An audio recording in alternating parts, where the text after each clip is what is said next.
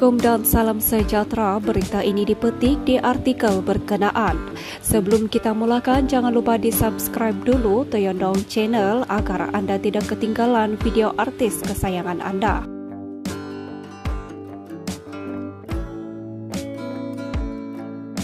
Setelah kes cerai Samsul Yusof dan Putri Sarah berakhir di Mahkamah Rendah Syariah di sini pada Rabu, Peguam Syari'i yang mewakili pengarah Samsul Yusof itu mengesahkan bahawa isu saman Putri Sarah terhadap bekas madunya Ira Kazar telah selesai.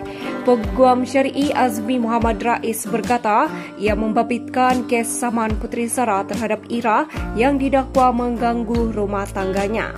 Bagaimanapun peguam itu berkata makluman terperinci mengenai isu tersebut tidak dapat didedahkan.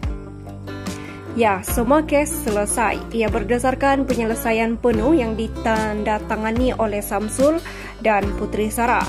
Pada malam Selasa, katanya ketika ditanya mengenai status kes nusus, injuksi dan sevel Ira termasuk keluarganya.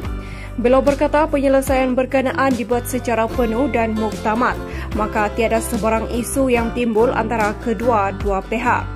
Menurutnya Samsul atau nama sebenarnya Muhammad Samsul Muhammad Yusuf bersama Putri Sarah perlu merekodkan terma-terma persetujuan yang dicapai di mahkamah lain kelak. Azmi berkata prosiding pada Rabu hanya melibatkan kes-kes syariah antaranya Hadana, Nusus dan Ida. Pada Jun 2022, Puteri Sarah memfailkan saman terhadap Ira selepas anak pelakon veteran itu mendakwa mengganggu rumah tangganya.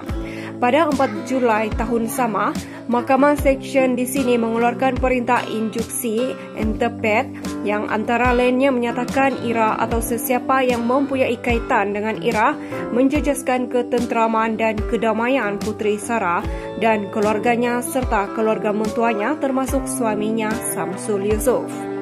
Ira juga dihalang daripada mendekati atau berada dalam jarak 500 meter daripada Putri Sarah.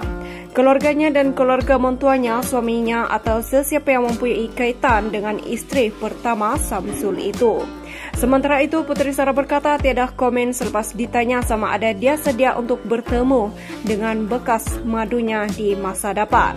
Pelakon ini juga enggan mengulas lanjut mengenai kes saman yang difailkan terhadap Ira sebelum ini.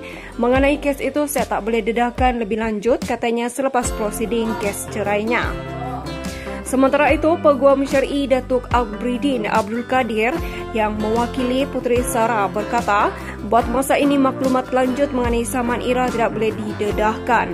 Kes itu belum lagi dan tidak termasuk setelah prosiding ditetapkan di Mahkamah Tinggi Kelah, baru kami akan usulkan mengenai perkara itu. Setakat ini tak boleh dikongsi lagi sebab kami kena ke mahkamah untuk merekodkan semua perkara. Jadi ia masih dalam proses dan sulit katanya.